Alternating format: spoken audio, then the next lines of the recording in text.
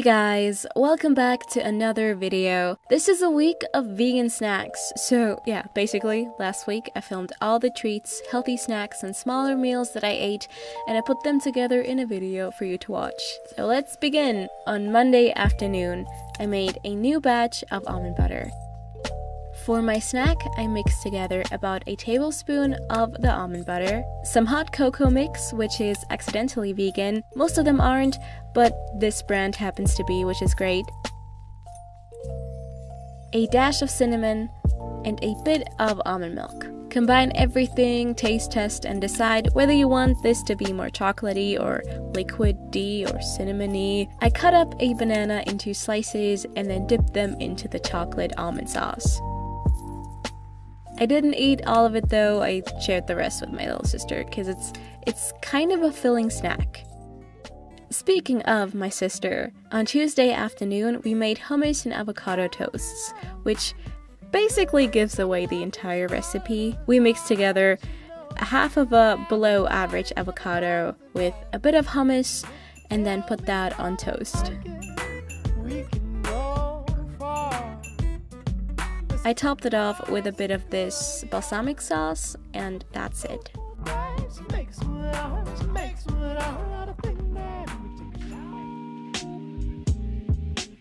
I've had a pack of popcorn kernels sitting at home for the longest time. So Wednesday was the day I decided to make some. This is actually my second batch from that day since the first one I burned. So here's what I learned from my mistakes. Add about a third of a cup of popcorn kernels to a medium slash large sized pot. Less is more when it comes to the amount of kernels you use. Also add in a teaspoon of coconut oil. I heard you can make it without the oil, but that just didn't work out for me. Bring the pan to medium high. Do not bring the pan to the highest of temperatures. Once the kernels start popping, start shaking the pot vigorously ever so often. And then just wait until the popping sounds stop, and um, then you'll be left with yummy basic popcorn. Like I said, I'm not a master at this. If you got any tips or better methods, feel free to comment them down below. I decided to make a peanut butter sauce for the topping. For this, I combined powdered peanut butter, maple syrup, and non dairy milk.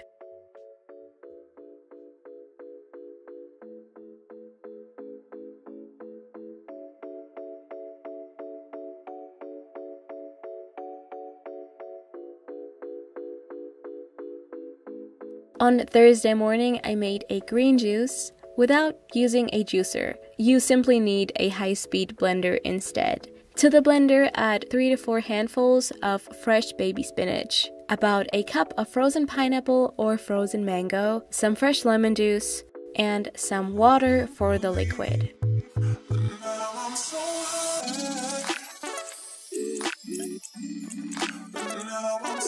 I also filmed my breakfast that day, so if you're interested, a couple tablespoons of oats, hemp seeds, desiccated coconut, and a bit of extra muesli. I also added one banana, cinnamon, and non dairy milk.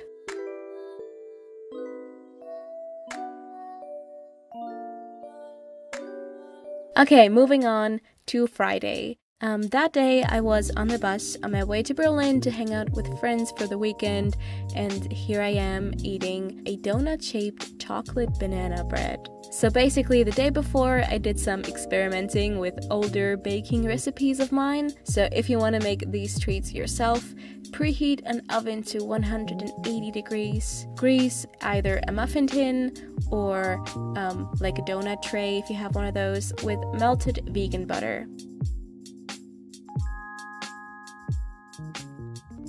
Mash up a couple of ripe bananas using a fork. Non dairy milk,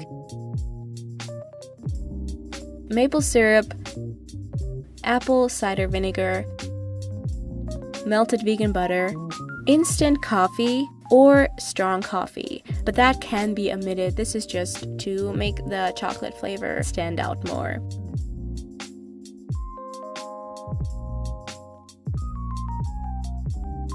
We only need a single bowl for this, so add all the dry ingredients. Spelt flour, baking powder, salt,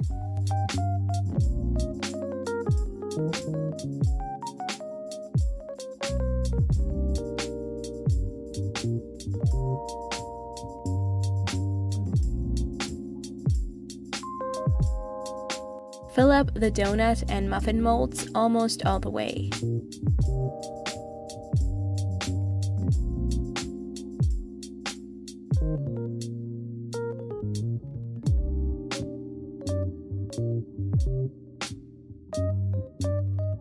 Then put everything into the oven for 10 to 12 minutes.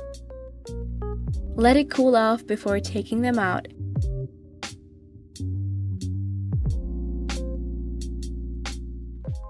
I arrived in Berlin late afternoon and I ended up in the cutest Airbnb room I've probably ever been in. And this is just one room, I didn't end up like filming the rest of the apartment. It was so pretty.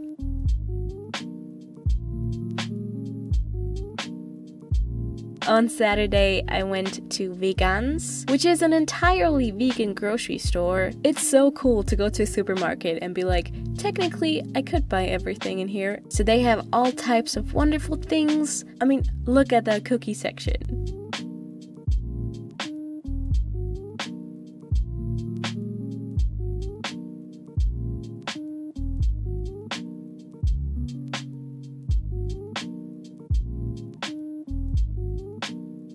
They have guacamole in the freezer, which I've never seen before, but thinking about it, it makes kind of sense, doesn't it?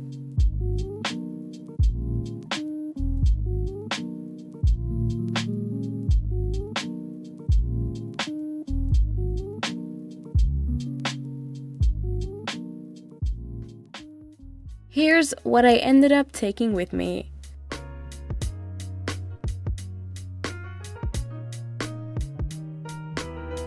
I immediately had to try out this hazelnut waffle treat thing. It's the vegan version of Hanuta, which is a well known German hazelnut treat. It's like two waffles, and then in between it has this chocolate hazelnut spread. However, this tasted nothing like the original, and I was so disappointed. It was still okay, 6 out of 10. I also tried this chocolate oat bar thing. I really enjoyed that one. Moving on to Sunday. I went to a coffee shop to get some work done for most of the day.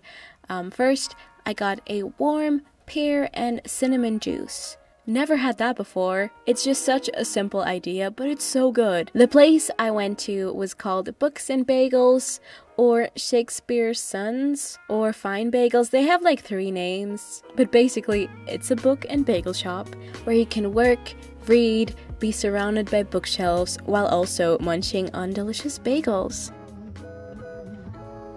Later at night, I got curious and I decided to try out the vegan fish sticks.